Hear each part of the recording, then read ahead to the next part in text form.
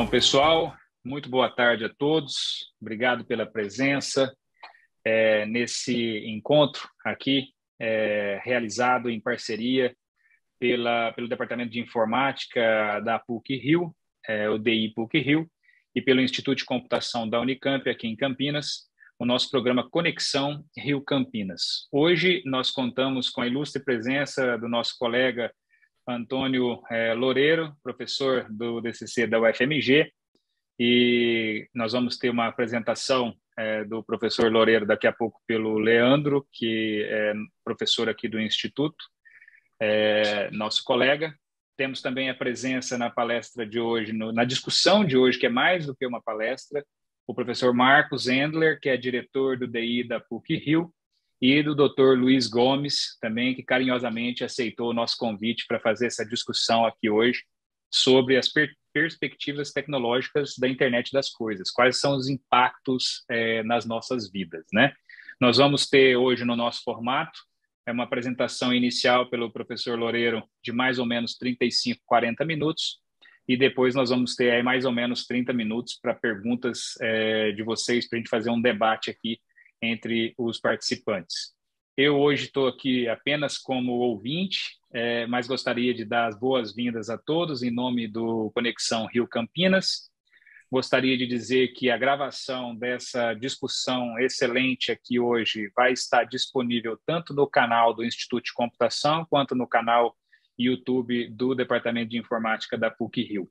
Tá? Provavelmente é, no início da semana que vem já vai estar disponível para todos aí. Passo então a palavra para o meu colega do Instituto de Computação, o professor Leandro Vilas, que também é, um pesquisador na área de internet das coisas, entende muito mais é, dessa área do que eu, então para ele fazer a, a, apresentação apropriada aí dos nossos três convidados de hoje. Muito obrigado a todos, boa boa reunião. Obrigado, Anderson. Bom, primeiramente agradecer ao é, professor Antônio Alfredo Moreira e o Marcos Endler e, e o Luiz Gonzalez por terem aceito o convite para esse evento. Então, como o Anderson disse, é, o evento vai começar com uma palestra do professor Antônio Alfredo Ferreira Loureiro. O professor Loureiro, ele é bem conhecido nessa área, é, destaque nacional e internacional. Ele é professor titular do Departamento de Ciência da Computação da UFMG. É, o professor Loureiro, as pesquisas que ele tem realizado é, com foco em computação distribuída e com ênfase em redes de computadores, computação urbana, computação móvel e internet das coisas. E em, em relação a essa área, o professor Loureiro é o único pesquisador que recebeu um prêmio fora da América do Norte. É, depois o Loureiro pode confirmar, mas tem uns quatro ou cinco anos que, que ele foi contemplado com esse prêmio. É, e é um prazer enorme professor Loureiro foi meu orientador de doutorado, então a gente já se conhece aí de longa data. Agradecer também é, o Marcos Hendry, é, ele é doutor pela Universidade Técnica de Berlim, é, livre docente pela USP, ele também é um pesquisador especialista em middleware para sistemas distribuídos, e as pesquisas é, têm sido com foco em computação móvel e pervasiva, internet das coisas, é, protocolos e algoritmos distribuídos para redes móveis, é, processamento de eventos complexos e modelo de desenvolvimento de aplicações da internet das coisas. E o Luiz Fernando Gonzalez, é, ele é mestre e doutor em física pela Universidade Estadual de Campinas. Ele também vem atuando nessa área há vários anos. É, então, ele atua tanto na área de pesquisa na universidade, inclusive ele participa de vários projetos é, no contexto de IoT na Unicamp e ele também atua na iniciativa privada, é, desenvolvendo projetos para grandes empresas é, nacionais e internacionais, é, com foco de desenvolvimento de soluções de IoT. Então, extremamente é, interessante essa participação dele nesse evento, para a gente ter uma discussão aí com a visão da academia e um pouco da visão da indústria também. Obrigado. Obrigado, Leandro, pela apresentação dos nossos convidados. É, como a gente sempre tem que estar é, em conexão com aquilo que está acontecendo no Brasil e no mundo, né? Não há como a gente iniciar o evento de hoje sem a gente dar é, uma palavra sobre o que está acontecendo no Brasil nesse momento.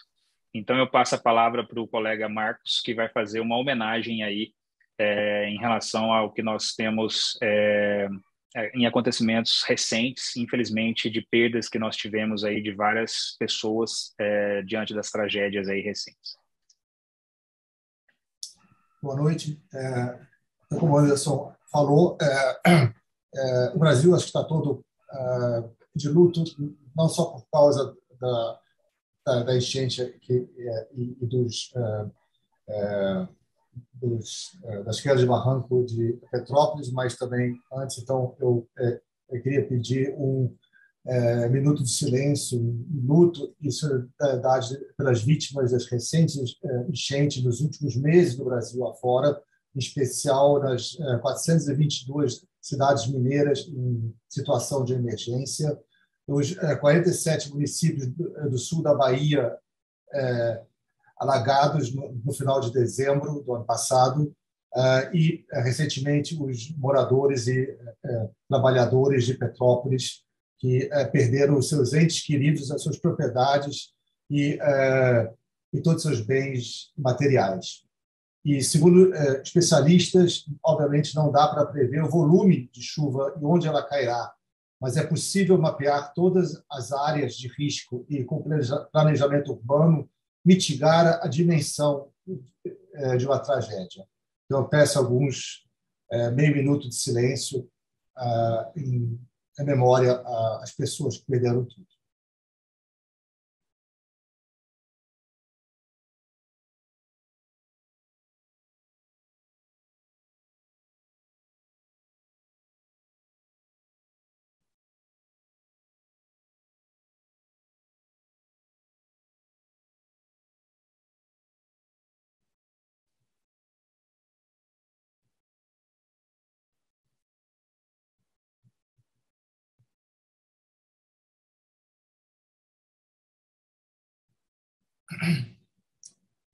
Muito obrigado, gente. Vamos começar então o evento. Muito obrigado, Marcos.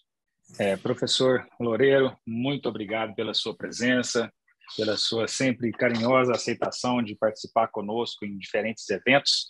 Por favor, fique à vontade para compartilhar a sua tela aí e iniciar a sua apresentação. Anderson, muito obrigado. É, é uma honra para mim estar aqui hoje é, é realmente um prazer né, estar ao lado de colegas. Né. Obrigado, Leandro, né, a você, ao Marcos, ao Luiz. Então, é um prazer. Né. Eu vou compartilhar aqui a minha tela.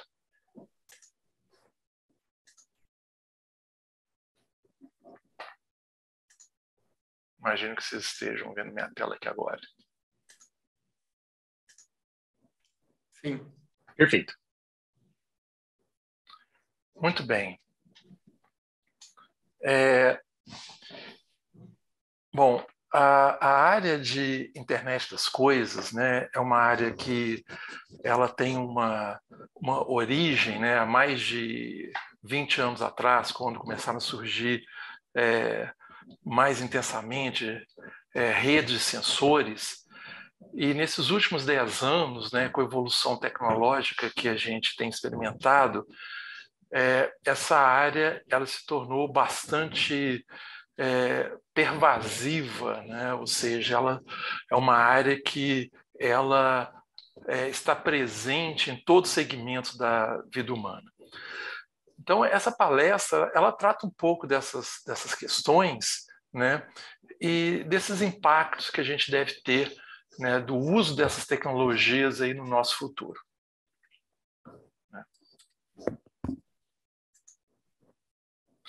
Bom, a gente fala de internet das coisas, né? É, em português é internet das coisas, né? Como em inglês é IoT, né? E aqui em Minas é a internet dos trens, tá ok?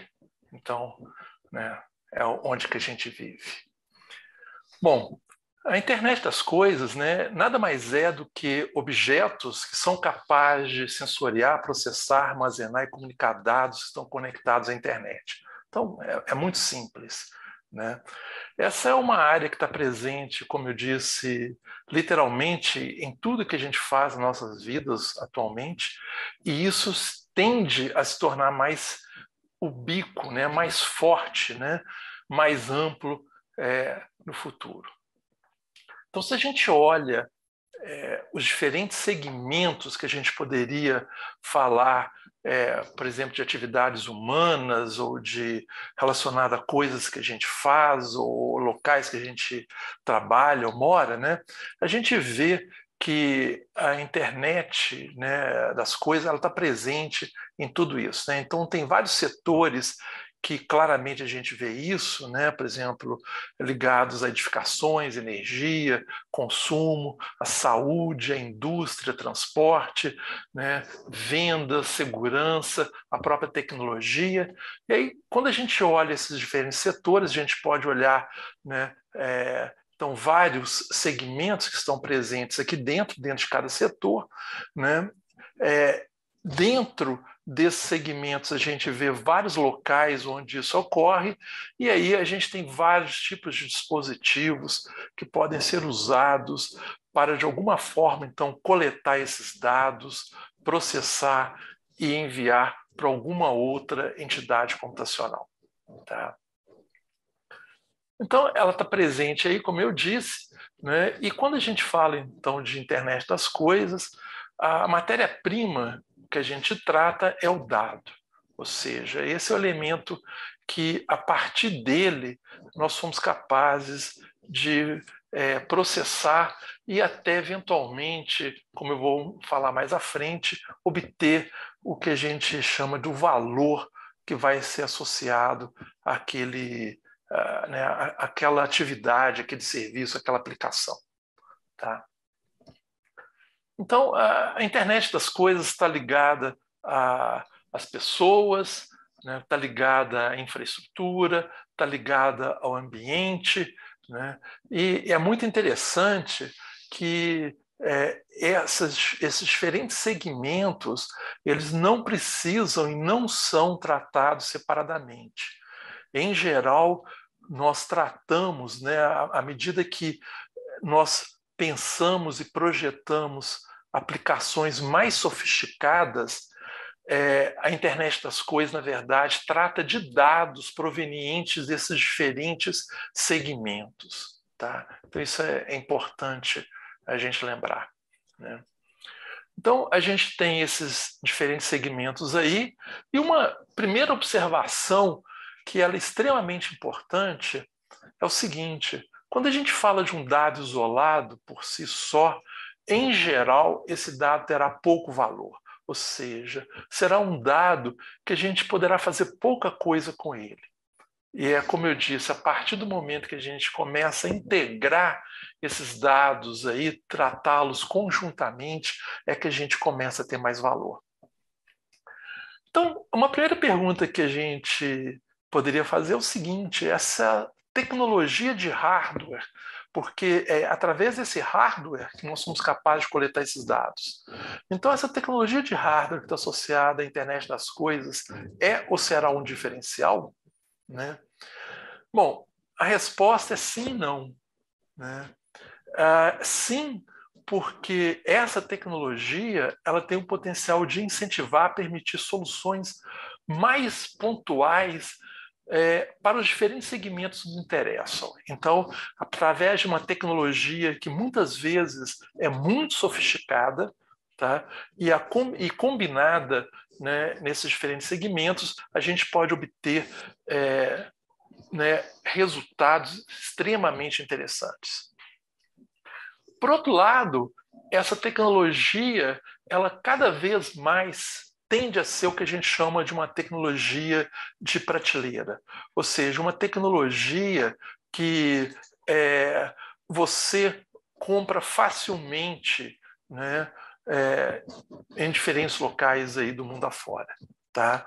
Então, é, né, a maior parte das tecnologias que eu diria que a gente usa é, atualmente na internet das coisas, não em segmentos específicos, por exemplo, como na indústria, é, como a gente tem a indústria 4.0, mas, por exemplo, em ambientes domésticos, é, em prédios, para em mesmo em cidades, né, monitoramento de cidades, tendem a ser hoje já uma tecnologia de prateleira.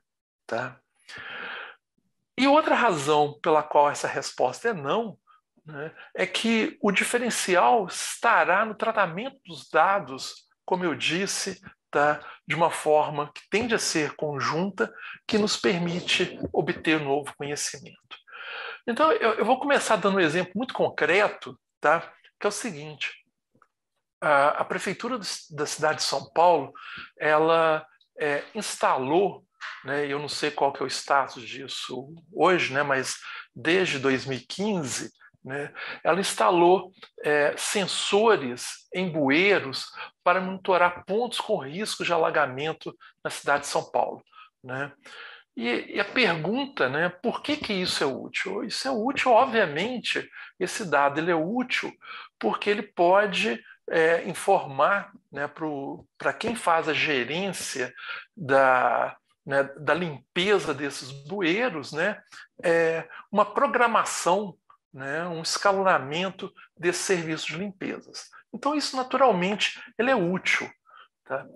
Mas a pergunta que surge é o seguinte: quando eu considero outras fontes de dados, né, será que esse escalonamento ele deveria permanecer é, como previsto anteriormente, ou deveria considerar novos, novos dados que podem afetar né, a condição é, desses bueiros, consequentemente a condição de alagamento em diversas né, em diversos pontos da cidade.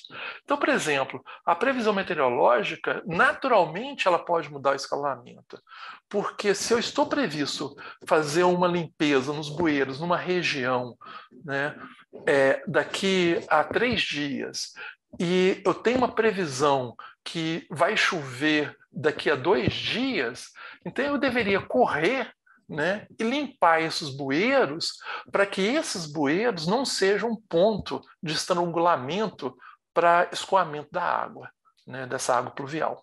Então, vejam que eu ter somente o dado proveniente de um sensor aqui de bueiro, ele é útil, mas ele pode se tornar muito mais útil, muito mais eficaz a partir do momento que eu considero né, outras fontes de dados relacionadas aqui. Né? Só para vocês terem ideia, né, é, já tem alguns anos né, que a IBM, a IBM né, ela comprou é, a maior empresa né, de ligados à meteorologia, tá? que é a Weather Company, né, que tem a Weather Channel, etc. E a pergunta, né, por que, que uma empresa de tecnologia da informação como a IBM veio a comprar uma empresa que trata de previsões meteorológicas?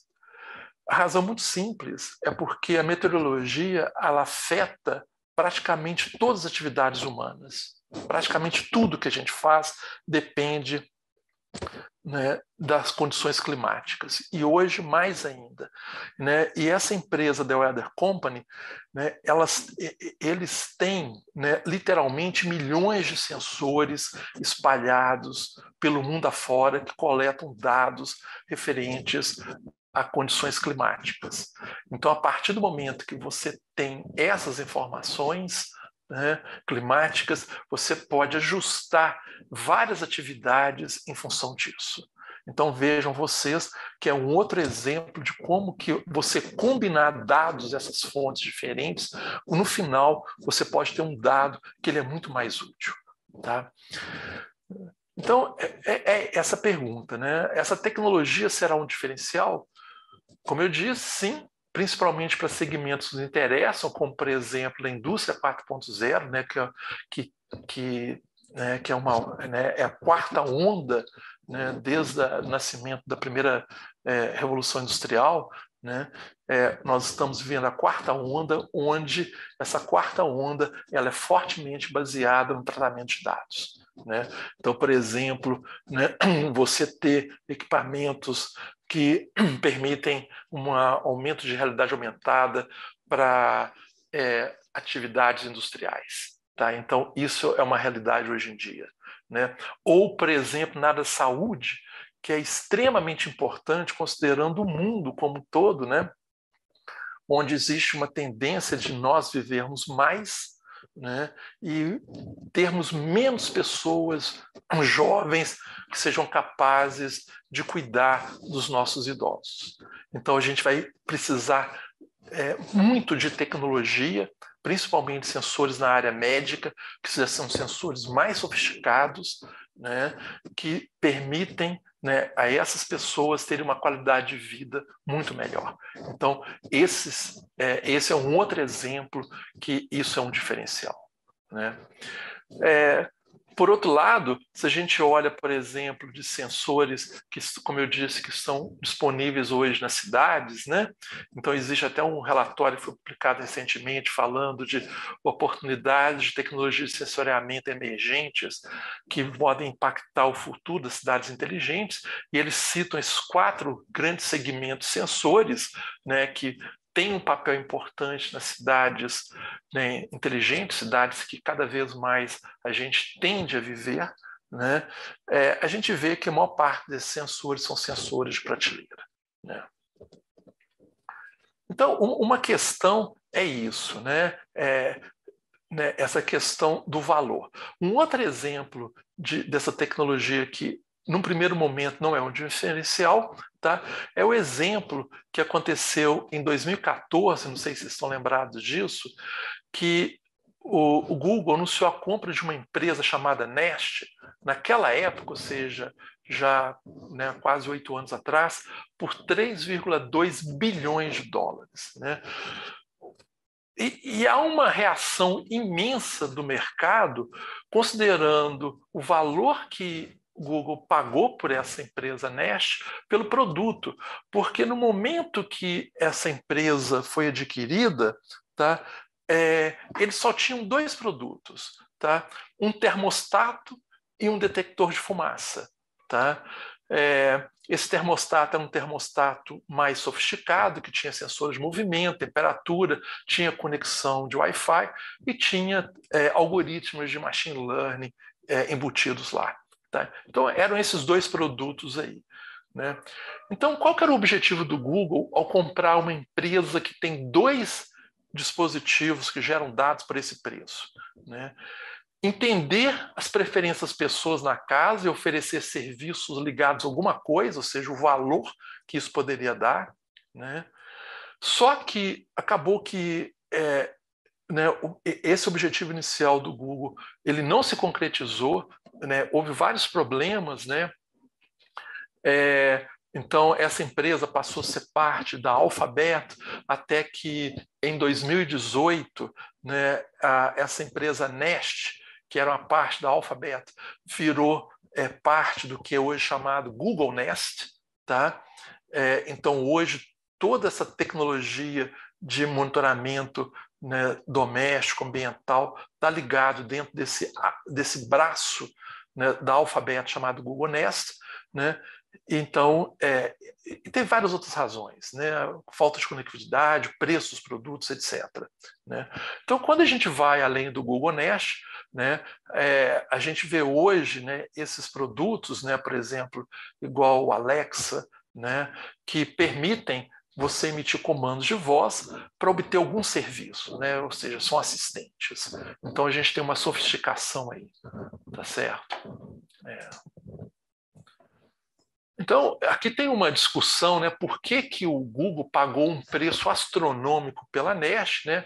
Então, já que o valor do mercado é, né, naquela época, eles tinham uma estimativa de uma venda de 40 bilhões, que não se concretizou. Né?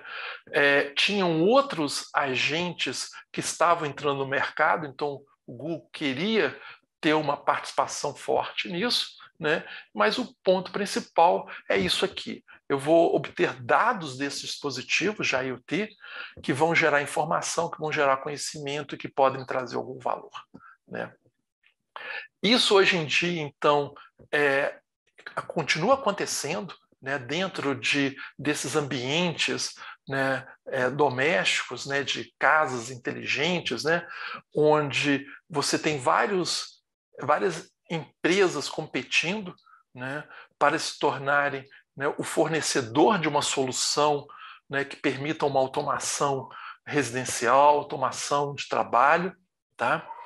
É, então, por exemplo, você tem, como eu disse, o Google Nest, que usa, todas as empresas de alguma forma usam, estão usando técnicas de é, machine learning, né, deep learning, para processar esses dados. Então você tem o Google com o Nest, você tem a Amazon com a Alexa, né, é, você tem a Apple com o HomeKit, você tem o Samsung com o SmartThings, você tem a LG com o SmartThing Então você tem várias empresas fornecendo aí, tá? E o ponto é, importante é que essas, esses sistemas eles são é, segmentados, ou seja, né, a Apple é, fornece uma solução para produtos Apple, né, Samsung para produtos Samsung, LG para produtos LG. Então, a gente tem isso hoje em dia. Então, claramente existe uma oportunidade aqui de você poder ter uma solução integradora para esses diversos fabricantes aí. É, eu vou é, mostrar aqui rapidamente né, uma propaganda da Moura. Reconhecimento de retina. Para-brisa com visão noturna. Som com reconhecimento de humor. Função sleep para crianças. Ar-condicionado regulado pela temperatura corporal. Bom, que vem aí vem. A gente não sabe quando, mas sabe qual bateria ele vai precisar. Moura. Energia brasileira presente nas maiores montadoras do mundo. Moura é Moura. Bom, é... vem aí um carro. Bom, é, vocês viram é o seguinte, né? É uma propaganda de 2000, 2015, então já tem quase sete anos, que eles estão falando de tecnologia de sensores que existem em carros. Na verdade, todas essas tecnologias que foram mostradas aí nesse vídeo, elas existem tá, é, em veículos topo de linha atualmente. Tá? Você detectar né, movimento, é, expressões faciais, você perceber temperatura do corpo de uma pessoa, né, é, isso tudo está presente. Né? Então, isso não é o diferencial. Né? Então, essa tecnologia ela está totalmente disponível hoje. Tá? O que não está disponível, né, obviamente, é o software que é capaz de tratar esses dados de uma forma mais integrada, que tem algum benefício. Né? Então, é, é isso. Né? Os carros hoje eles têm é, literalmente né, centenas, milhares de sensores para as diversas partes né, do veículo. Né? Então, eles são instrumentos de sensoriamento, sensoriamento extremamente sofisticados, né? não apenas do veículo, mas é, do ambiente onde eles se encontram. Né? Então, de veículos que estão na, na, na, vizinhança, né? se você está dentro de uma faixa ou não, né? É, que tipo de é, estrada é, vocês têm na sua frente, pelo tipo de movimento que o veículo à sua frente está é, exibindo. Então, são né, esse sensoriamento hoje, como eu disse, é totalmente possível, bastante sofisticado. Tá? Então, a pergunta é, né, o que a gente pode fazer com esses dados aí? Né? Obviamente, a gente, para poder fazer alguma coisa, é, a gente tem que fazer o que a gente chama de caracterização desses dados, ou seja, entender, descobrir propriedades desses dados aí de forma individual e de forma combinada. Então, isso permite conhecer o comportamento do veículo, do motorista, do ambiente é, onde esse veículo se encontra. A partir daí, você aplica esse conhecimento, né, que podem ajudar, então, engenheiros, projetistas no, no projeto de novas versões dos veículos, no projeto de aplicações e serviços, aí, é, tanto para os motoristas quanto passageiros aqui dentro. Né? E uma coisa interessante é que caracterizar esses dados eles podem se tornar uma fonte extremamente valiosa de monetização. Né? Então, quando a gente olha isso, né, é, a tendência é essa tecnologia de sensoriamento, né, de IoT, estar presente na infraestrutura, né, isso já é a realidade em várias cidades do mundo afora. Né? Então, a gente tem diversos tipos de tecnologias para é, conhecer né, dados sobre os veículos que aparecem ali dentro, né, usando né, tecnologias de comunicação né, que existe, telefonia celular, agora com, te com telefonia 5G isso vai ser mais forte ainda. Né? Então, uma segunda pergunta é o que, que a gente pode fazer com esses dados que a gente vai coletar dessas infraestruturas? Então, no caso de veículos, é projetar soluções né, que tratem de, né, de, de que minimizam né, acidentes ou que podem colocar em risco a integridade física do veículo de passageiro. Então, isso tudo é possível. Né? Projetar soluções que dizem respeito às pessoas que estão nesses veículos, então fornecer serviços baseados em localização, né, LBS, tanto em relação ao veículo como às pessoas, é, é, projetar soluções né, do que a gente chama hoje em dia de smart mobility. Né? Então, existe, existem várias oportunidades com o, o, amplo uso dessa tecnologia que a gente terá né, é, no futuro. Né? Então, várias possibilidades aí. Né? E como eu disse, a partir do momento que você começa a combinar né, diferentes fontes de dados, né, então né, fontes provenientes de mídia social, outras fontes, como, por exemplo, né, meteorologia, né, eventos estão associados. Então, isso se torna muito mais é, valioso. Né? É, então, quando você considera outras fontes, então você ainda tem serviços é, mais sofisticados, e aí você cai num caso que é extremamente importante, que é essa personalização. Tá? Então, projetar serviços personalizados vai ser fundamental né, a partir do tratamento desses dados no futuro. Né? Então, veja o seguinte, né, olhando basicamente a partir dessa propaganda que a gente viu, onde tinha sensores em veículos, sensores na infraestrutura onde esses veículos se encontram, né, a gente pode falar que literalmente isso é o limite. Né? Existem né, apenas nesse segmento né, muitas possibilidades, oportunidades aí. Né? Naturalmente, a gente deve começar por esse pela análise dos dados, né? quando a gente olha os dados de infraestrutura, isso está se tornando uma realidade, quando a gente olha dados de outras fontes, isso já é uma realidade. Então, é possível projetar aplicações aí, serviços para motoristas, passageiros aí, que de alguma forma vão ser bastante sofisticados. Então, é, a indústria de seguros de automóveis já usa alguma dessas aplicações para tarifar né, um, um, um, motorista em função de como, por exemplo, é o estilo de direção dele. Tá? Então, independente do que a gente chama de vertical dentro da área de IoT, ou seja, do seg vertical é segmento, tá? A gente vai ter problemas bem específicos que, em geral, então a gente vai usar alguma tecnologia para coletar dados aí, né? É, esses dados eles vão ter que ser processados, armazenados, comunicados né, para alguma infraestrutura, e no final é isso que eu quero. Eu quero é, obter um valor a partir desse dado que eu obtive de forma isolada, mas que eu combinei com outras fontes aí. Tá?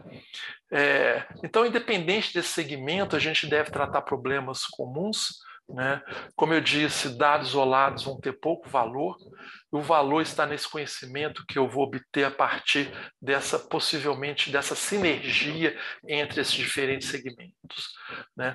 E uma, uma questão muito importante para nós aqui no Brasil, né? a gente deveria considerar a nossa vocação para o desenvolvimento de software para é, IoT. Né? Eu vou falar já já mais um pouco sobre isso. E a gente deveria ter políticas para incentivar essa sinergia entre a academia e a indústria nessa área. Então, esses são alguns princípios que são muito importantes. Né? Então, é, para a gente pensar aí nos próximos 10, 20 anos, né, quais seriam essas killing applications, né, essas aplicações. O que é interessante é que a gente vai encontrar essas killing applications em todos os segmentos e a gente vai ter técnicas de inteligência artificial como substrato de tudo. Né? Ou seja, de todo, todo tipo de trem que a gente imaginar aí, a gente vai ter técnicas de machine learning, deep learning sendo usadas. Tá? Possivelmente a gente vai ter cada vez mais processamento nas bordas, então a gente vai ter muito é, o que a gente chama hoje de edge computing, né? Então a gente vai ter aí várias aplicações, a gente tem vários desafios extremamente interessantes, onde a gente vai coletar dados, processar esses dados usando técnicas de inteligência artificial aí na borda, tá? Já quase chegando no final, eu não sei se vocês viram é, esse filme chamado Anon, tá? É, é um filme tem 2018. Ele fala de um futuro próximo onde a humanidade vive uma sociedade distópica, tecnologicamente avançada, e aí o governo nessa sociedade exige que todos os cidadãos é, tenham um implante ocular que vai registrar tudo o que vem. Então, olha que coisa impressionante. Né?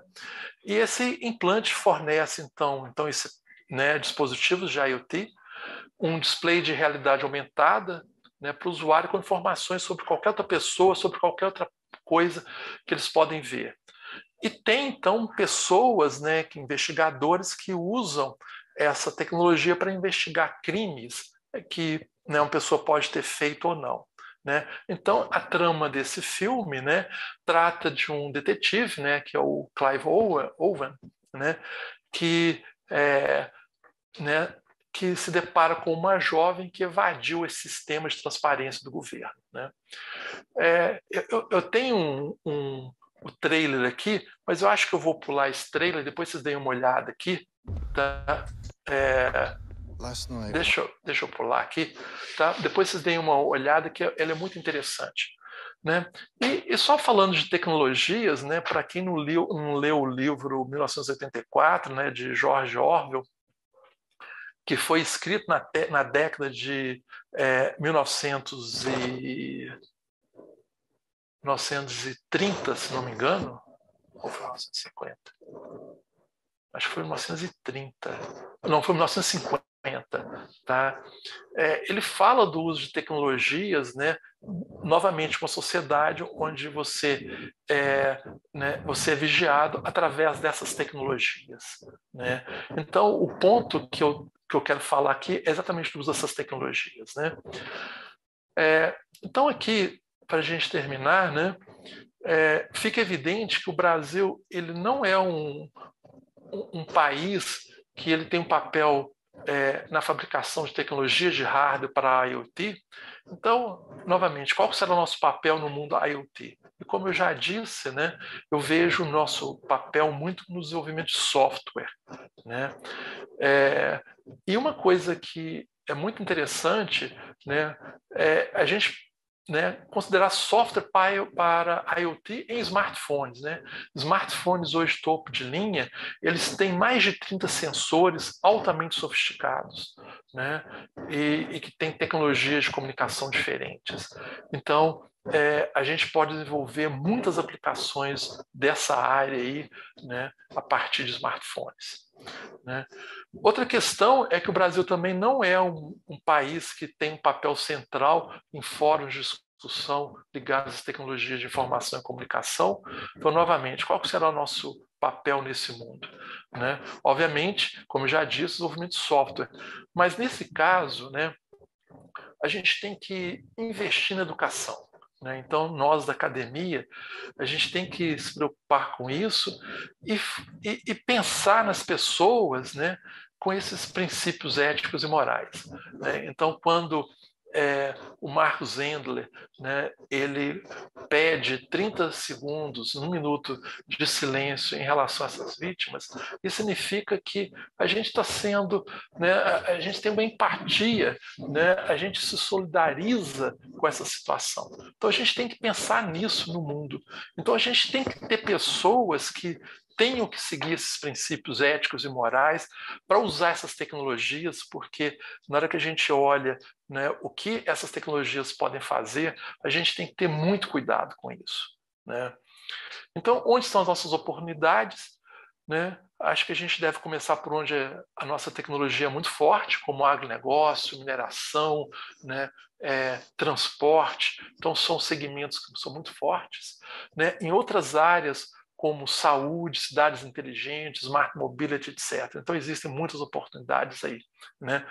É, eu não sei se vocês viram aqui, né, dia 13 saiu essa notícia aqui no UOL, né? a Embraer ela é, tem uma empresa é, fabricação de veículos aéreos, né? outras empresas em outros locais do mundo já têm isso, né? que são outras tecnologias onde a IoT estará fortemente presente. Então, são novas oportunidades aí. Né? E isso é muito importante quando a gente fala de tecnologia. Né? Tem um artigo que apareceu na revista The Scientist aí, né? que fala sobre é, né, as cidades podem servir como né, esses furacões aí de evolução. E, e tem uma questão que é colocada aqui que está mostrando como que o transporte humano está criando altos níveis de distúrbio no habitat que existe nas cidades, então é, o transporte está ajudando a dispersar né, pequenos organismos, é, é, seres vivos, né, organismos biológicos, facilitando né, esse fluxo genético entre diferentes populações criando uma diversidade e criando outras questões. Então, você tem problemas de iluminação que, que afetam esses organismos biológicos, etc. Então, essas tecnologias, elas afetam as cidades de uma forma que a gente é, nem muitas vezes parou para pensar. Né? Então, só para a gente terminar, é, vai ser uma questão de tempo até termos o uso massivo, bico de IoT, né? E a questão passa a ser como que a gente deve se preparar para vivermos nesse mundo onde essa tecnologia se tornará realmente é, pervasiva aí. E um aspecto fundamental é a educação, né? A gente não pode esquecer disso. Então, era, era isso, vocês desculpem, eu passei um pouco do tempo aí que eu tinha previsto aqui, tá? Obrigado, Loureiro, sem problema. É. Eu vou colocar aqui é, de volta o Marcos, no highlight também. Deixa eu ver como que eu consigo fazer isso aqui. Marcos, eu acho que você tem que ligar a sua câmera. Isso. Ok. E falta mais um aqui.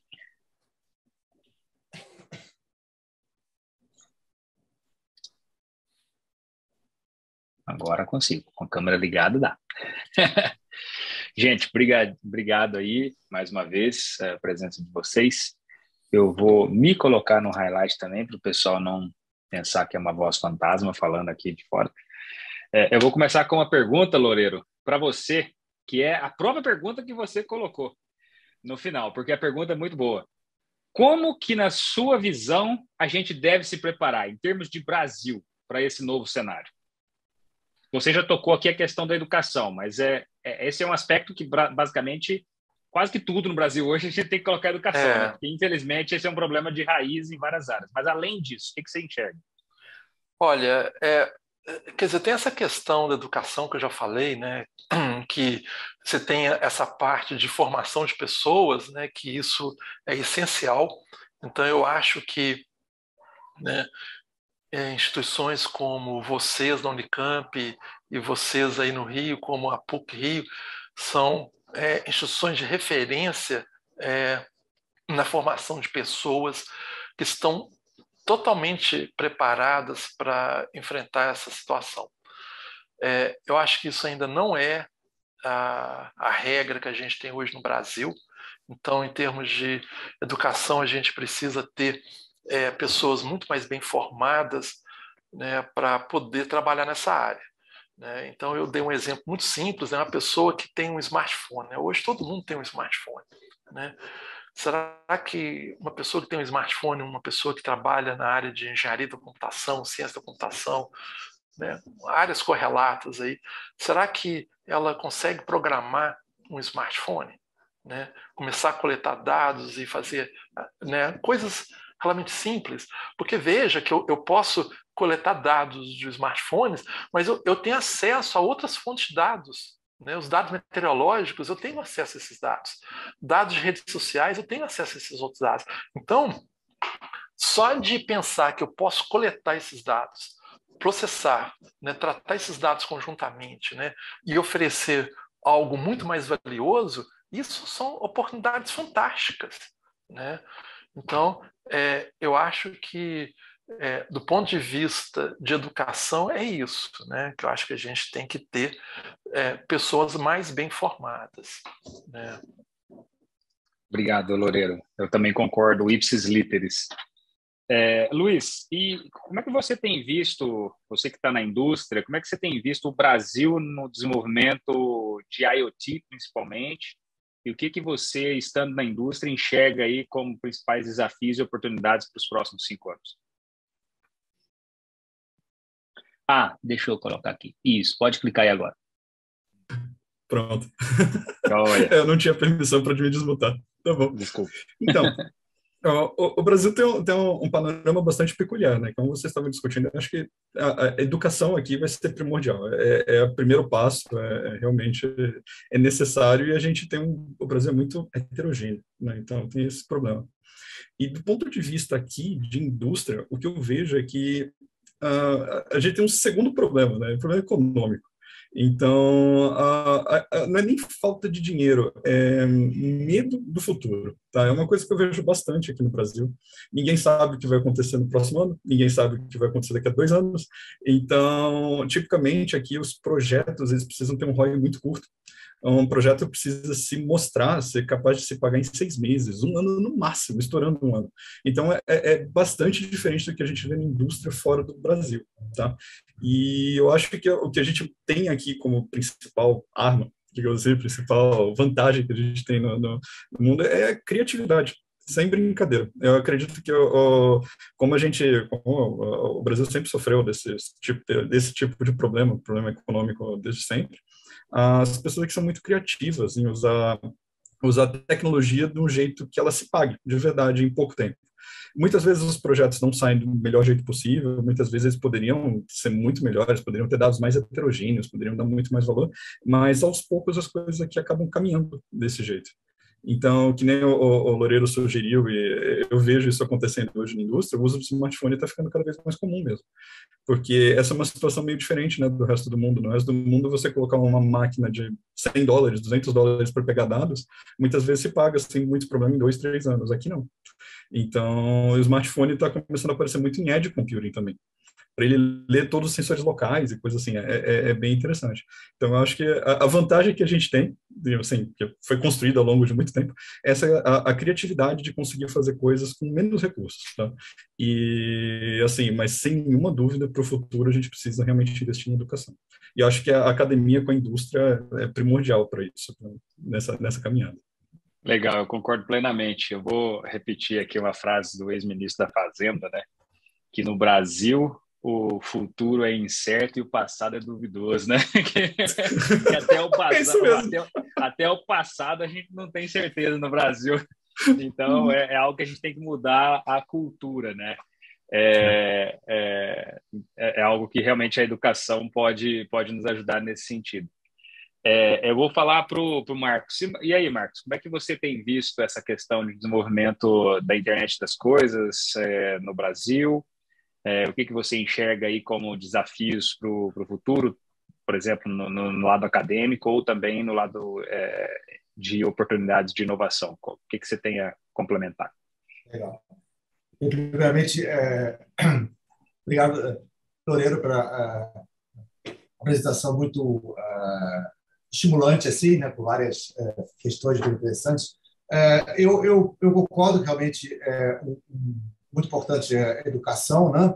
Ah, e também concordo muito com o que o Luiz falou, né? Que realmente ah, o brasileiro é muito criativo, né? E ele é muito ah, curioso também, muito criativo. Então, as pessoas com, com poucos recursos e com criatividade acabam fazendo alguma coisa, mas de fato das universidades é necessário um aprofundamento né, de alguns cursos, por exemplo, de programação de smartphone. Né? Eu, eu, é, é, esse é um, é um, exemplo particular. Eu, eu dou uma disciplina aqui de, de programação mobile uh, em Flutter. Né? Eu sempre faço questão de experimentar o uso de Bluetooth e acesso a sensores, de tudo que não é convencional, não é um aplicativo só com uma telinha é, que você é, interage, é usar o smartphone como um dispositivo um pouco mais amplo. E, e, eu concordo muito também com o que o Luiz, Luiz falou, né, que o smartphone, e essa, na verdade, é a aposta da minha pesquisa, na verdade, né, que o smartphone é um, é, é um hub, né, é, um, é, um, é um gateway, é um elemento que vai poder fazer a ponte entre uh, dispositivos da proximidade, que se comunicam via Bluetooth ou Wi-Fi, etc., com, com, com a internet. Né? É porque o outro fato também é que, mesmo com a vinda do, do 5G, é, vai ter dispositivos IoT que operam com baterias, são tão pequenos, tão, têm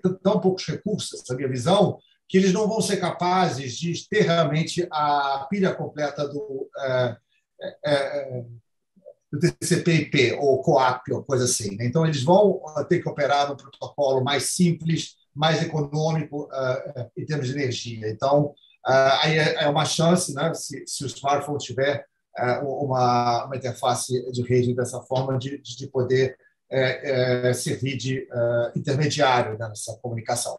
Mas uma coisa que eu, que eu queria, é, que, eu, que, que, o Loureiro falou, que pegou bastante, e que eu gostaria de é, debater ou questionar um pouquinho, né?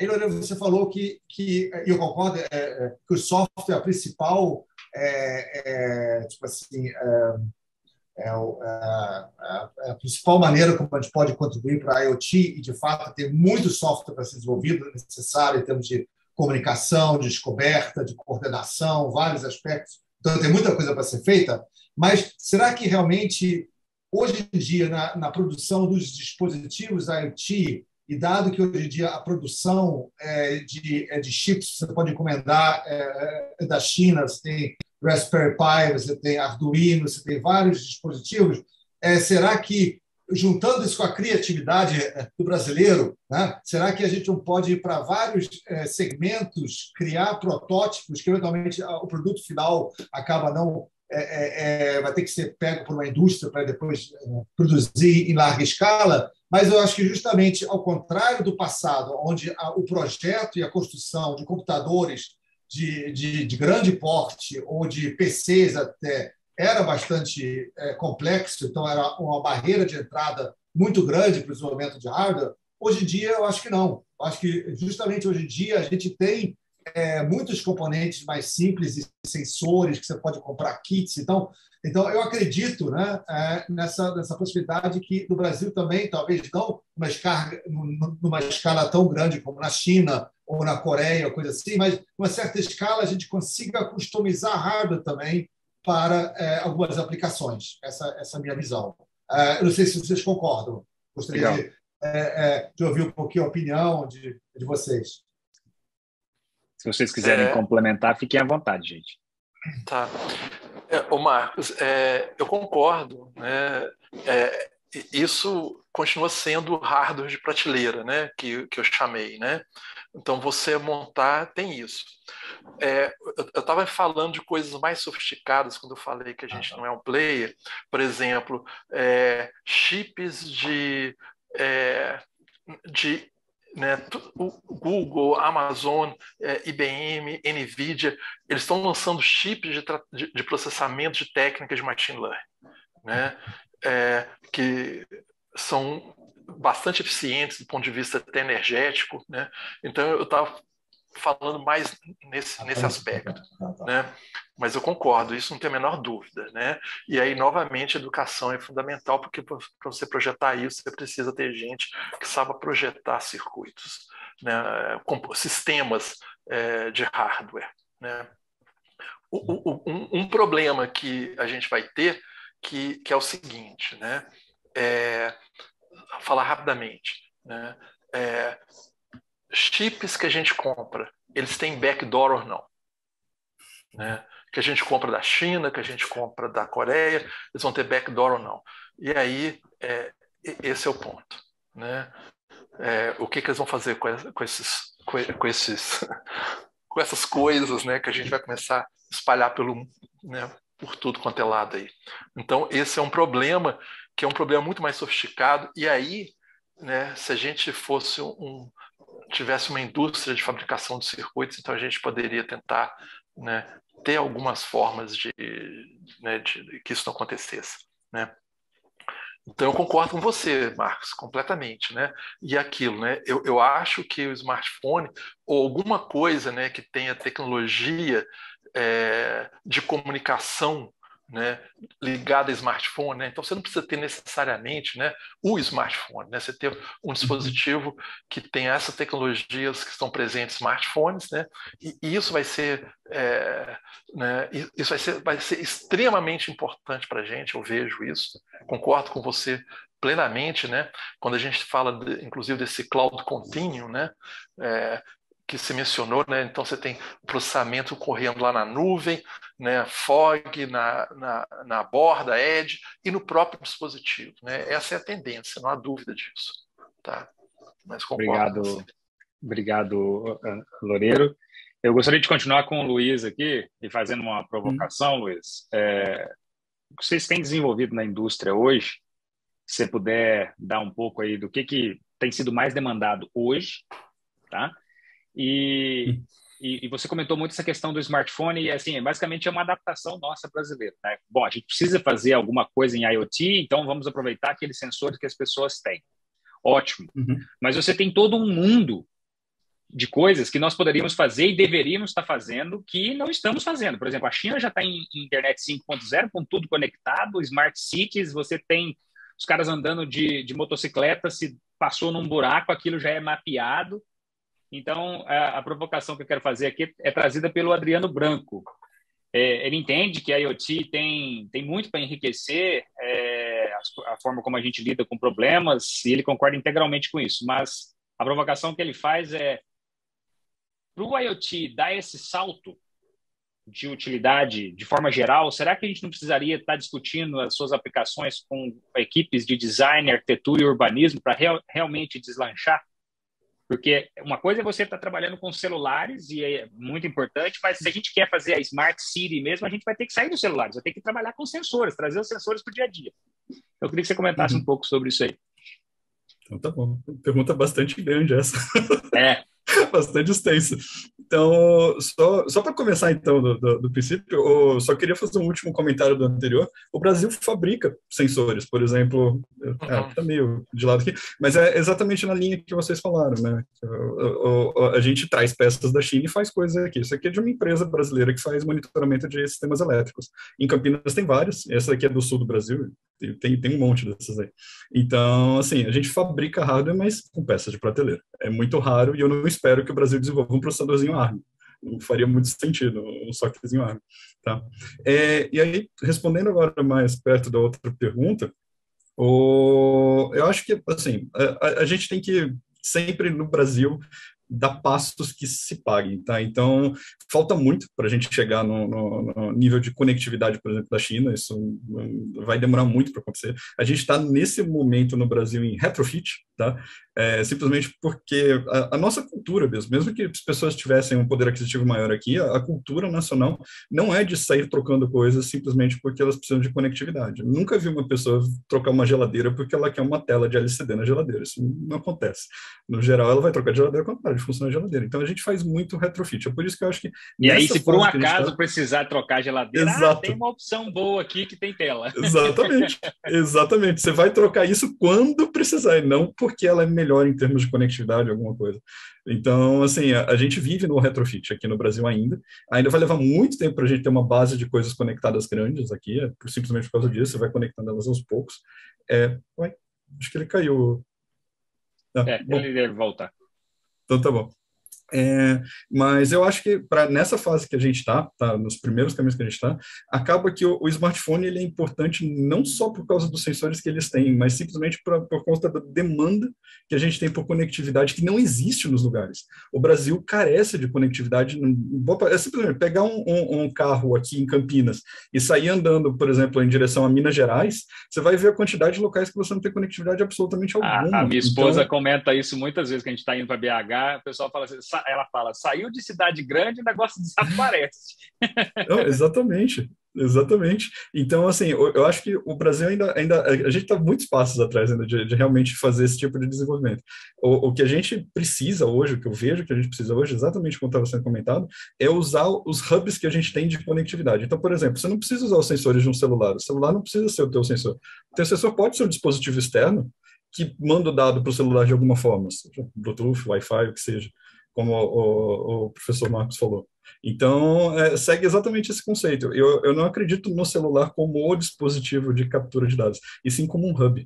Então, e justamente porque a gente carece de conectividade. A gente está falando em 5G e tal, mas é exatamente o que você falou, Anderson. Você, você pega para BH, saída de Campinas para BH, vai ter tanto buraco em, em 2G que nem existe, que é difícil de discutir conectividade ainda no Brasil. Tá? E tem coisas, por exemplo, no, no, no âmbito de, de cidades inteligentes, que, concordo, precisa incluir pessoas de arquitetura urbanismo, é absolutamente fundamental e está começando a caminhar nessa direção. A maioria das cidades estão começando a criar cartas de, de não digo de, de intenção, seria a palavra mais correta, é, de desenvolvimento desse tipo de, de, de futuro né, para cidades inteligentes. Estão sendo envolvidos, sim, pessoas, não é mais só de tecnologia, arquitetura e urbanismo faz todo sentido e precisa ter essa discussão. Na Unicamp mesmo existe essa discussão. Tá? Hoje em dia, os fóruns de, de cidades inteligentes lá tem toda essa, essa capa realmente da, do que é a cidade. Não adianta você simplesmente jogar tecnologia nas coisas, elas não se resolvem. Então, e uma das coisas que a gente tem visto também no, no, por aí que funciona razoavelmente bem é usar o telefone para feedback, tá? A gente, hoje em dia, os feedbacks, quando você tem algum problema na cidade, as pessoas ligam para é, um 06, ligam para os números de. E é um caos, é um caos as pessoas é, transformarem aquela reclamação em alguma coisa palpável, que você possa tirar dados depois. É muito é, heterogêneo os dados vindos de, de texto humano, da pessoa falando. É muito difícil você extrair estatística a partir disso. Então, o fato das pessoas poderem reclamar usando o smartphone, que o dado já vem bonitinho, vem da forma correta para análise, para você poder tomar ação, é muito melhor. Então, um teste que foi feito, por exemplo, na Unicamp, que eu espero que se expanda eventualmente nas cidades, é colocar QR codes para as pessoas escanearem quando elas têm algum problema numa dada região. Por exemplo, um buraco na rua. Em vez de você sensoriar os carros, você coloca, olha, caso essa rua tenha um buraco, escaneia o QR Code. Esse QR Code bate num serviço REST, isso daí joga na nuvem um dado. E aí você tem o telefone como um dado indireto, como um, um, uma captura de dado indireta a respeito de alguma coisa que seria muito difícil você ter outro tipo de feedback sem usar sensores, por exemplo, em todos os veículos. Então, eu acho que é Legal. nessa direção que a gente está seguindo no Brasil, e eu acho que essa é a melhor direção nesse aspecto. Porque mesmo cidades que têm dinheiro, tipo Barcelona, que está tá bastante avançado nisso, você olha as POCs que eles estão fazendo de, de sensores em, em, dentro da cidade, elas são pequenas perante o tamanho da cidade é muito caro você realmente sensoriar uma cidade toda, mesmo para locais que nem Barcelona, que nem é, mesmo a China, mesmo Hong Kong, lugares assim. Então, mesmo nesses lugares, são apenas regiões que estão sendo sensoriadas. Eu acho que o Brasil tem uma grande chance aí da gente partir na frente usando o que a gente tem à mão e, e, e tirar dados a partir disso. É, desse jeito você tem por, dado por construção, desse jeito, você tem 210 milhões de sensores, né? É pelo Exatamente. menos um celular por cada pessoa da população. Exatamente. Muito bom. Eu, eu volto para o Loureiro, é uma, uma pergunta aqui, Loureiro, mais na linha acadêmica. Quando se utiliza, é feita pela Ana Carolina Miglione, quando se utiliza os dados em IoT para, colaborar, para a elaboração de profiling, ocorre a especificação de grupos, o que descaracteriza o individual. Como que a IoT pode ser eficiente para cada indivíduo é, sem perder o seu valor? Tá. É, só completar rapidamente o, a, a, resposta do Luiz, é, é o seguinte, né? É, se pensar o, o, essa diferença tecnológica que a gente está vivendo no Brasil e nos países ditos primeiro mundo, você vê o seguinte, né? É, por exemplo, nos Estados Unidos, você já tem caminhões autônomos viajando nas estradas, andando nas estradas. Tá? Você imagina daqui a 10 anos essas tecnologias presentes lá, e aí você pensa assim, como que os brasileiros daqui a 10 anos, né? eu não estou falando de nós, não, tá? porque a gente acaba sendo um grupo privilegiado né? dentro da academia, dentro da indústria, que conhece essas tecnologias. Eu estou falando das pessoas comuns, tá? que não têm acesso tipicamente às tecnologias. Né? É, você vê assim como que elas vão enfrentar esse mundo daqui a 10 anos, onde essas tecnologias estão presentes lá e não estão presentes aqui. Então, isso que o Luiz falou, né, que está acontecendo aqui, são iniciativas extremamente importantes para a gente tentar diminuir um pouco nisso, né, que é essa consciência de você pegar esse dado, de você trabalhar com ele, né, porque a partir do momento que esse dado traz uma consciência, isso pode mudar né? Você fala assim, olha, minha rua está com buraco, tá? Eu mandei um dado falando que estava com buraco, um ano depois continua com buraco, né? Então esse é um aspecto, né? Essa questão da, da pergunta, né? É, é que, né, como que é, é, né, como que dados de IT podem, né, podem ser utilizados para elaboração de profile, né? é, você tem características, sim, né? Onde você é, é, essa é uma questão que ela é bem interessante, Ana Carolina, é, pelo seguinte, né? Você tem que tomar um certo cuidado, é porque aí você tem que entrar com técnicas da estatística para falar assim, olha, realmente eu estou, por exemplo, anonimizando é, as pessoas, tá? Ou seja, eu estou é, descaracterizando o indivíduo, tá? É, eu, eu, vou te dar um exemplo muito concreto. Há, há, dois anos atrás, três anos atrás, o New York Times ele fez uma reportagem tá, mostrando a, a economia clandestina que havia por trás de dados coletados por smartphones sem as pessoas darem autorização. Tá? Então você tem toda uma economia de bilhões de dólares, onde é, aplicativos que você baixa, coloca no smartphone, tá? Você fala assim, você quer coletar, você quer que meus dados não sejam coletados, você fala não, tá? E eles coletam sem você saber, tá? Então, é, eu, eu tenho até um vídeo que mostra aqui onde eles pegaram, o repórter do New York Times, ele pegou um dado de, de trajetória de pessoas, tá? aí chegou na casa de uma, de uma senhora, tá? e falou assim, a senhora é a fulana de tal, tá? que trabalha na escola, é, que vai ao médico, que vai, que faz isso, que faz aquilo. Ela falou assim, é, como que você sabe disso? Tá? Simplesmente coletando esses dados de milhões de pessoas, milhões de pessoas. Então, é, que teoricamente estariam anonimizados, mas não estão. Por quê? Porque na hora que você olha, né, você estatisticamente você fez, fez uma coleta de um dado né, que só diz respeito a uma única pessoa que mora em determinado local e que vai para aquele, aquele trabalho. Então, é, aí não tem, não tem como sair fora. Então, você tem todo um problema de como que você trata esses dados. Isso não é um problema simples. Isso é um problema de pesquisa muito interessante e aí você cai no, em, em alguma legislação. Tá? É, lá nos Estados Unidos, apesar de ter uma lei de privacidade, os aplicativos ó, estão nem aí. Vamos em frente e usar esse dado e azar das pessoas. Tá? Inclusive, o aplicativo da IBM né, tem o The Weather Company, né, o The Weather Channel, que é um dos, dos braços da Weather Company, você fala que não quer coletar dados e na versão que eles examinaram estava coletando dados das pessoas. Pra você ter uma ideia. Então, isso é um problema extremamente complicado. Obrigado, Loureiro. Eu volto agora para o Marcos. Marcos, tem uma pergunta interessante aqui do Eduardo Cerqueira, nosso colega Eduardo Cerqueira. Obrigado pela presença.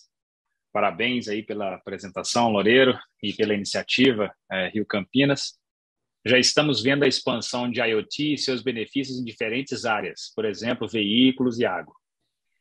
É, pergunta: o que, que precisamos para popularização do IoT?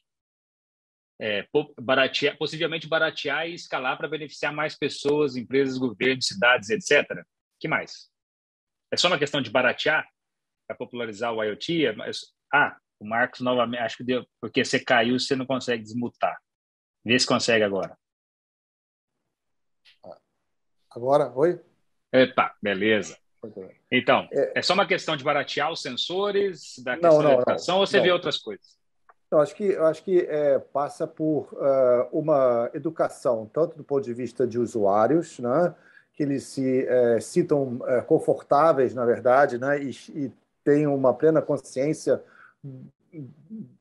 do que está sendo coletado e é, controlado né, é, automaticamente.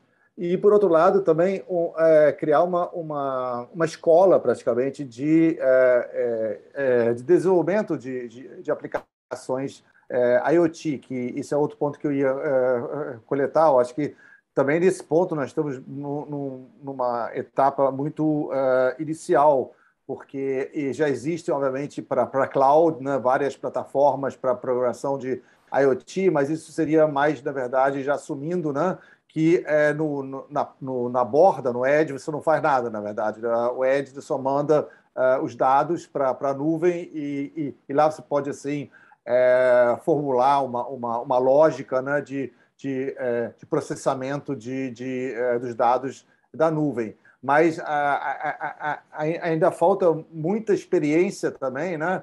Ah, e nas universidades, acho que tem um certo papel, né? De, é, de, de, fomentar esse, esse, esse aprendizado de, de desenvolvimento de aplicações é, é, IoT que vão praticamente ter, vão ter componentes que executam uma lógica que executa na nuvem, é, no fog também, mas também vai ter componentes no, no, no, no Edge, né, que, que, que precisam ser é, otimizados para você é, é, maximizar a, a, o uso do dispositivo e não ter perda de dados e tudo mais. Então, todo essa, essa, essa, esse conhecimento né, é, é, do desenvolvimento de aplicações IoT, né, então eu não, nem estou falando assim de hardware, nem de rede, nem de hardware. Está tudo é, já pronto, a gente comprou tudo da China, é, e é, instalou, pronto. E aí, como que a gente vai fazer uma aplicação customizada? Né? Então, isso não, é, não, é, não é trivial. A gente está, tá, acho que está tá no começo dessa, dessa, do, do, aprendizado. Né? De, aliás, no mundo todo, acho que ainda, ainda nós estamos começando, mas aqui no Brasil também é muito importante. Então, acho que só depois que a gente formar uma, uma massa crítica é, de usuários né, que estejam confortáveis com o uso ah, e que, é, que como assim, possam se consultar também com, com especialistas para entender ah, é, exatamente como a, aplicação é, funciona, quer dizer, ah, e, e, por outro lado, é, ter é, desenvolvedores né, que, que, que, que sabem desenvolver. Hoje em dia, a gente fala muito de um, uma pessoa especialista em back-end, uma, uma pessoa especialista em front-end, uh, uh, mas, mas, na verdade, na, na ponta, assim, uh, em termos de, de, dispositivos de acesso a dados, ninguém, ninguém fala muito. Então, acho que passa muito por uma educação, não é só, obviamente,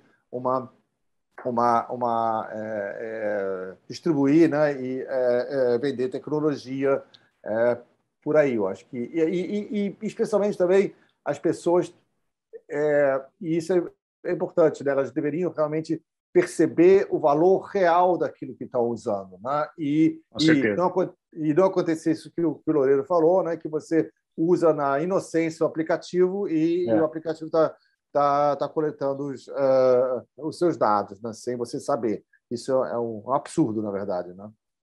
É, Obrigado, é Marcos.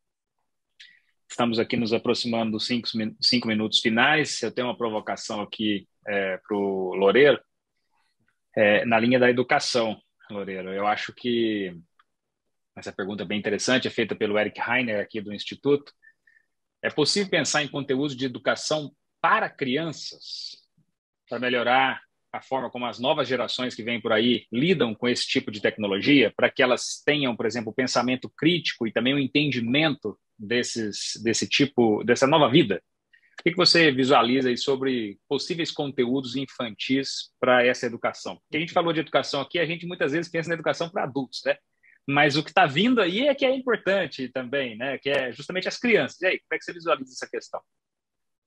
Tá, é, a pergunta muito ampla também, mas só complementando o que o Marcos acabou de falar, eu concordo plenamente com você, Marcos.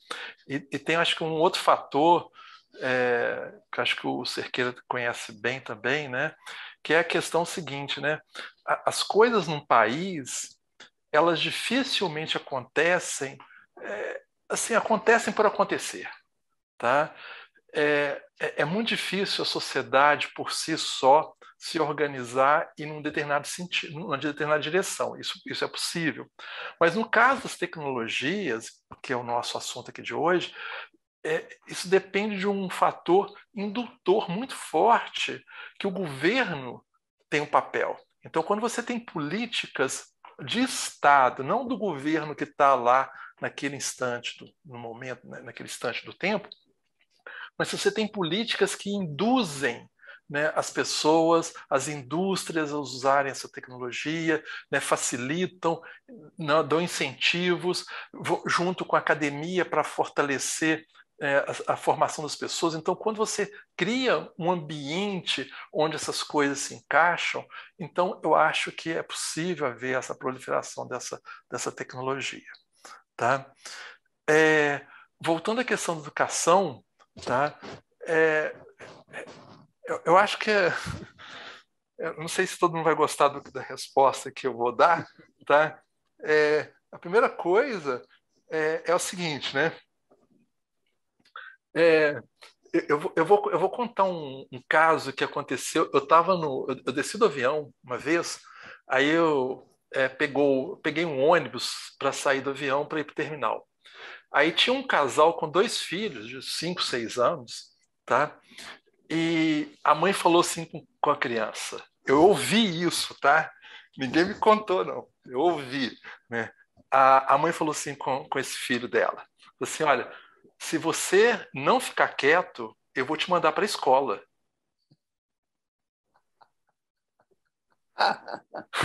Isso. Que absurdo. Isso é Você... totalmente absurdo. Não ficar quieto, eu vou te mandar para a escola. Eu assim, eu não acredito naquilo que eu estou ouvindo, né? Então você vê como que como que as coisas funcionam, né? Mas você vê o seguinte, né? Qualquer é, para a gente formar pessoas, a gente precisa de pessoas que tenham senso crítico, né? Senso crítico você consegue é, de várias formas, mas a primeira é através da leitura. Né? Se a pessoa não consegue ler, entender e analisar aquilo que ela está lendo e comentar aquilo que ela está lendo, isso não vai a lugar nenhum. Né? Então as coisas né, as coisas mais simples que são a leitura, né? Então assim, eu não sou especialista na área, né? Mas assim, o que eu já li fala assim, ó, você tem que ler para as crianças que não sabem ler, então seus filhos até né, 3, 4, 5 anos, quando eles estão começando a ler, então você tem que ler bastante né, para essas, essas crianças, interagir com elas e depois ler, que elas sejam estimuladas a ler. Né? Né? E aí curiosidade, né? Incentivar a curiosidade ali, né? Então, não tem outro caminho, eu vejo. Eu concordo, concordo plenamente. Eu sou um fanático por leitura, então é, é, é muito bom ouvir isso. Gostaria então de finalizar aqui com uma, uma pergunta é, é de olhando para frente. Começo com o Luiz. É, Luiz, suponha que alguém esteja olhando para os potenciais da internet das coisas agora no Brasil e queira investir nessa carreira para ir para a indústria? O que, que você recomendaria para essa pessoa procurar assim para se preparar? A pessoa, por exemplo, está na graduação ainda, quer se preparar para ir para essa área, mas para ir para a indústria trabalhar aí com vocês, ou ela está indo na pós, terminando, o que, que você sugere para ela ter esse senso prático? Essa é uma pergunta muito boa, na real. Nunca parei para pensar de verdade nisso. Geralmente a gente faz o contrário, a gente encontra as pessoas e treina. É, mas o meu objetivo aqui é ser um provocateur. É, legal. Não. Legal demais. Olha, eu acho, acho assim, supondo que a pessoa tem uma formação, por exemplo, em ciência da computação, engenharia da computação, ou mesmo áreas correlatas, física não, não, não seria também muito longe. É, o, o que eu acho que a pessoa precisa ter hoje para isso daí é ter curiosidade por incrível que pareça. Ela tem que procurar problemas que estejam a, a, na, em volta dela que ela consiga resolver. Ela tem que enxergar para, por exemplo, ah, eu preciso saber o, o, sei lá, a temperatura da minha geladeira ao longo de um dia, quero saber o consumo elétrico de uma casa, quero correlacionar isso com o clima. Ela tem que ter curiosidade de tentar fazer, aprender como fazer isso, e hoje a internet é fantástica para você conseguir fazer circuitinhos simples, pegar, a, aprender, por exemplo, fontes de dados que já existem, de dados climáticos e coisas assim. Eu não, não acho nem que ela precise procurar um curso especificamente para isso, e ter essa curiosidade de tentar resolver esse problema. Ela vai esbarrar em alguns problemas, e aí sim eu acho que na hora que ela tentar resolver esses problemas, por exemplo, como analisar esses dados, como encontrar correlação entre eles, mas puxando sardinha mesmo para os dados, aí ela tem que procurar uma formação mais específica, seja em estatística, em aprendizado de máquina, e aí não tá. Mas eu acho que o primeiro passo é ter curiosidade para tentar resolver problemas que estão à volta dela, seja da vida dela, do, da sociedade onde ela vive, do, do local. Eu acho que esse é, esse é, o primeiro passo. Ela tem que ver o que ela quer resolver e como ela consegue resolver isso. Joia. Obrigado. Agora a pergunta vai para o outro lado.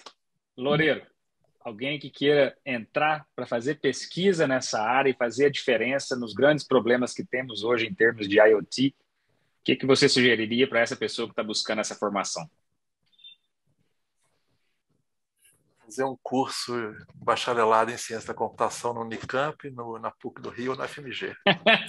Rapaz, é político por, por, por natureza, né? É político. É, é mineiro, é mineiro. Ou seja, você tem que ter uma boa formação né, horizontal, né? É, é, se você tem uma boa formação, você vai, ser, você vai conseguir, é isso que o Luiz falou, você vai conseguir aprender outras coisas, né? Nenhum programa no Brasil, no exterior, vai formar uma pessoa com todos os conhecimentos tá? necessários.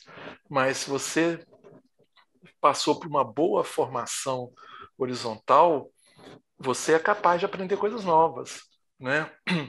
É, então, assim, é, eu vou dar, aí eu vou dar um exemplo da, da, da da minha realidade. Tá? É, o curso de ciência da computação da FMG é, não tem disciplinas de laboratórios. Aí você fala assim, o curso de ciência da computação da FMG não tem disciplinas de laboratório? Não, nenhum, nenhuma disciplina. Quando eu falo não tem disciplina, é a disciplina que você se matricula para ir para o laboratório. Tá certo? Os alunos eles morrem de fazer trabalhos que envolvem laboratório, mas nenhuma delas, tá? Você ganha crédito para ir para o laboratório para fazer isso. Esse é o ponto, tá? Então, é, né, redes de computadores. Você dá o primeiro, tra primeiro trabalho prático que, né, que eu dou, né, comunicação via socket, né? Aí você fala o seguinte, olha, comunicação via socket é isso, isso, isso. Você ensina algum, a gente ensina alguma coisa de comunicação via socket para o aluno? Não. Tá? Você fala o seguinte: a comunicação via socket é isso, você vai ler isso material, você vai aprender, é isso que você tem que fazer. Tá? A gente não ensina, eu não ensino absolutamente nada de comunicação via socket. Então, o aluno, ele, ele é exposto a isso, ele tem que ser exposto a isso. Então, assim, eu, eu tenho certeza que nessas três instituições que estão aqui, isso acontece. Tá? Ele é exposto a isso. Então, se ele é exposto a procurar alguma coisa para resolver um problema, tá? quando ele chegar lá com o Luiz para trabalhar, Luiz vai falar, vai falar com ele assim: ó, você tem que aprender é, como que é, é, comunicação Bluetooth no Android, tá? usando Android. Tá? Ele, nunca viu, ele nunca viu isso. Não tem problema. Tá? É uma questão de sentar e aprender. Tá? É só isso. Então, se ele tem uma boa formação, ele vai longe. Obrigado, Loureiro. É, muito, muito boa. Agradeço também a propaganda aí dos nossos três cursos. Concordo também, são três cursos de excelência. Recomendo fortemente. Termino com uma pergunta para o Marcos aqui que é também uma provocação difícil, mas vai na Nossa. linha do exemplo que o, que o Loureiro contou agora há pouco da mãe tentando punir a criança na cabeça dela, né, mandando para a escola. Pergunta do colega Heitor, do DCC do FMG. Como lidar com o fato de que as pessoas estão procurando cada vez menos a educação? é, por exemplo, na, nos programas de pós, dado que o futuro demanda muita especialização, né? curiosidade, como colocou aqui o Luiz, mas a gente tem visto aí muitos desenvolvedores, por exemplo, questionando até mesmo se precisa ter formação superior. Eu tenho visto gente que faz um curso de 10 horas de inteligência artificial e se já, já se acha um guru e coloca no LinkedIn é, senior dararara, em uhum, AI, aí você faz uma pergunta, o cara está perdido, né? Então, como é que você vê isso aí? Eu falei que a pergunta era difícil. Como que a gente resolve esse problema das pessoas procurando menos a educação, por exemplo, menos a pós-graduação, e um futuro que demanda pessoas cada vez mais qualificadas? Será que o Brasil vai ser sempre o país da agricultura? O que, que a gente pode fazer? Pergunta não, não, difícil, que... né?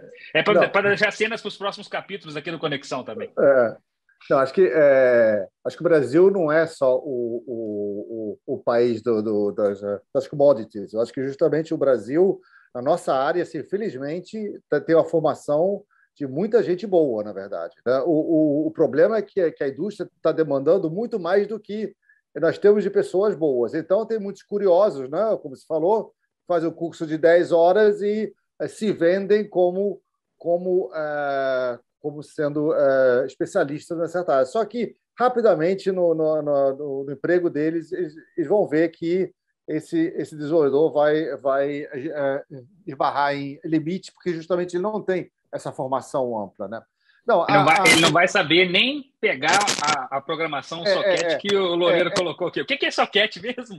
É, é, exatamente. Não, a, a, resposta é difícil, especialmente é, é, dado o atual governo, né, na verdade, que nega completamente a importância da educação e da ciência. Então, tipo assim, é muito difícil de.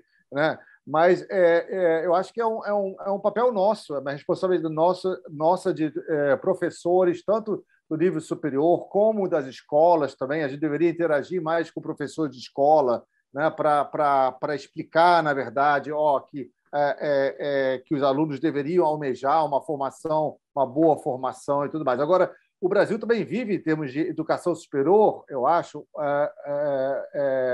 um gargalo de qualidade.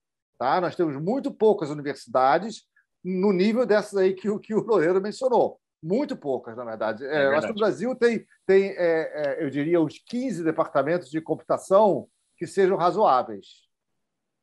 Mais ou menos. Muito mais do que isso não tem, eu acho. Né? Então.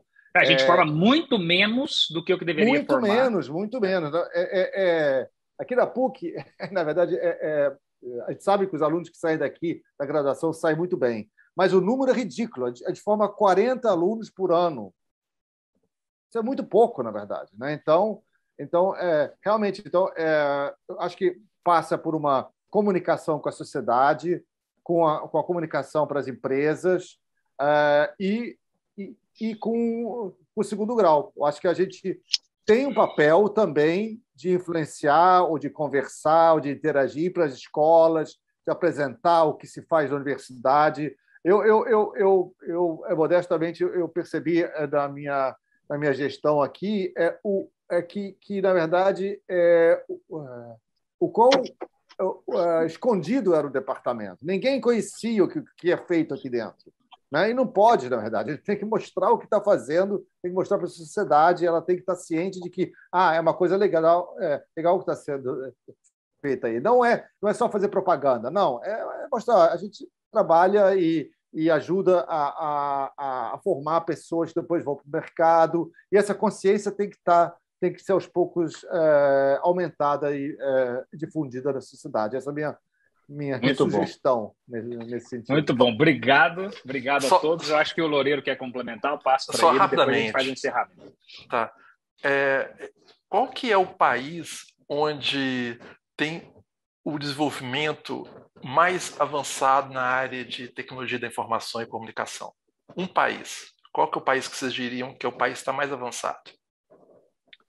Olha, é uma pergunta difícil. Eu colocaria Coreia do Sul ou China? Não. Não? Não. Definitivamente não. Só tem um país que essa tecnologia, que, onde você tem as empresas mais valiosas de tecnologia da informação e comunicação. Ah, os Estados Unidos. Estados Unidos, não há menor dúvida. 94% dos doutores formados em ciência da computação, engenharia da computação e áreas correlatas estão na indústria. É por isso que eles estão na frente. É Sim. por isso que. Então, isso que o Marcos falou de ir para as indústrias, a partir do momento que as indústrias perceberem que no Brasil que terem mão de obra altamente qualificada pode fazer uma diferença para elas, tá? Você pega o Luiz, exemplo, está aqui. Tá? A partir do momento que você tem, né, de ver as indústrias perceberem que essa mão de obra vai fazer diferença, elas vão querer trazer doutores tá, das universidades.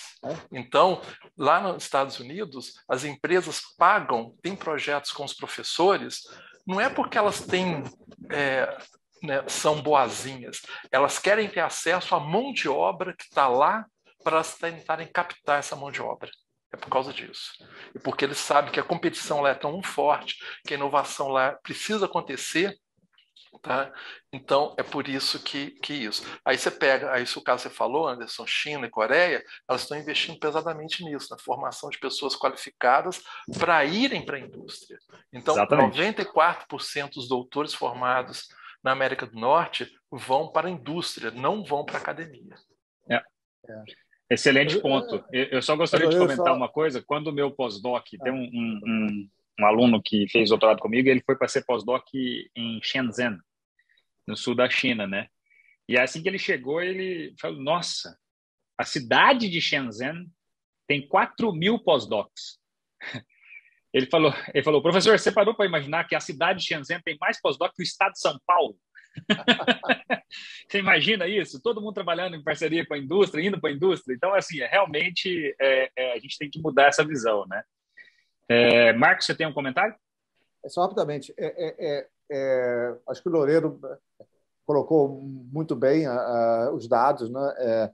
que muitos que muita da pesquisa e, do, do, do, ensino superior e da, da da pós-graduação está né, tá na, nas indústrias nos Estados Unidos, mas isso tem um histórico, na verdade. Na verdade, o, o, o, Departamento de Defesa norte-americano, NSF, incentivou muito isso, na verdade. Então, eles estão colhendo agora esse fruto desse investimento. E aqui no Brasil não aconteceu nada, né? A gente fica, a gente fica tentando é, se virar de certa forma, né? Sem, sem apoio é, governamental. Se bem que CAPES do CNPq com as bolsas, obviamente, ajudaram bastante, sim. Né? É, é, é aquilo que eu falei, política é, de Estado que induz isso. Né? Exatamente, é, exatamente. Concordo plenamente. Gente, chegamos ao fim. É, agradeço imensamente a presença de vocês, agradeço a presença de todos que assistiram. Relembro que a gravação dessa discussão aqui vai estar disponível tanto no nosso canal é, do YouTube do Instituto de Computação quanto do Departamento de Informática da PUC-Rio. Essa discussão aqui foi organizada pelo Conexão Rio Campinas, uma parceria entre o IC Unicamp e o Departamento de Informática da PUC-Rio. Agradeço, Loureiro, mais uma vez, muito obrigado pela presença. Ao Luiz, obrigado, é. trazendo aí para a gente uma visão da indústria.